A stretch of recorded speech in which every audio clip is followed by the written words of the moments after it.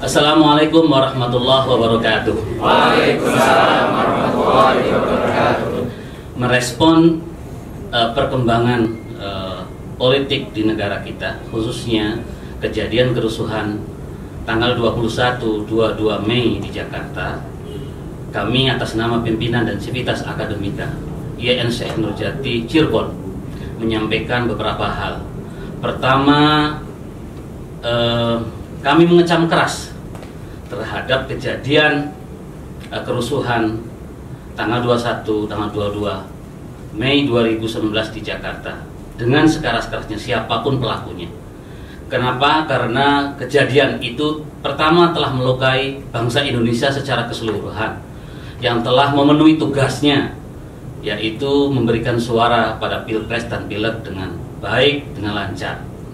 Yang kedua, mengganggu ketentraman umat Islam yang sedang menjalankan ibadah puasa di bulan Ramadan ini.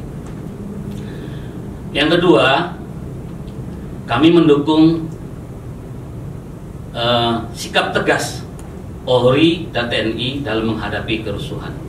Mudah-mudahan sikap tegas ini bisa meredam dan menyelesaikan uh, kejadian kemarin itu bukan hanya di Jakarta, mungkin di daerah-daerah yang lain.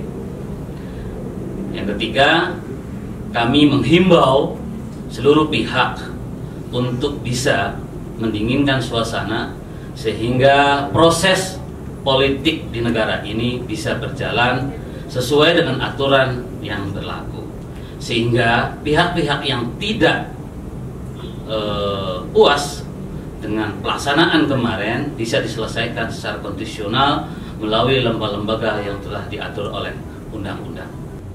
NKRI harga mati. Terima kasih. Assalamualaikum warahmatullahi wabarakatuh. Waalaikumsalam.